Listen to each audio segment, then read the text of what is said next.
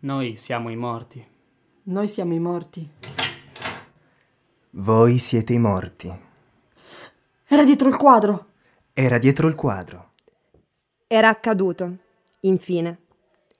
Non potevano fare altro che restare immobili. Mettetevi al centro della stanza, schiena contro schiena. Tenete le mani incrociate dietro la testa. Non vi toccate!